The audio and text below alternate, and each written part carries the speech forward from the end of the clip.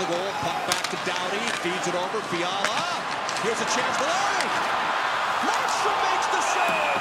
Somehow stops that opportunity from Kopitar with 21.8 seconds to go. Markstrom with the stop of the game. Keeps Calgary on top as he's able to hang on. Wow, the save of the season. I thought that was a sure goal.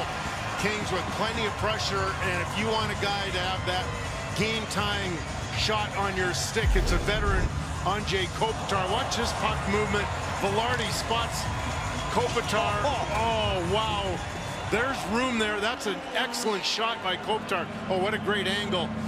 And that's just a desperation play by Markstrom to come across and do whatever he can to get any part of his body out. You can see he kind of even stumbled. Markstrom did just a little bit trying to get his footing to come across. Beautiful. Well, that's two straight games where he's made an unbelievable stop.